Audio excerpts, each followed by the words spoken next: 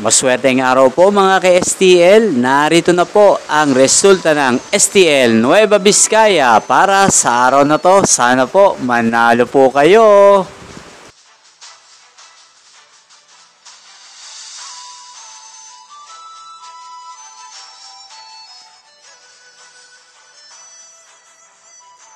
Congrats po sa lahat ng mga nanalo. Maraming maraming salamat po sa patuloy niyong panonood sa aking channel. Huwag pong kalimutang mag-subscribe. Thank you for watching.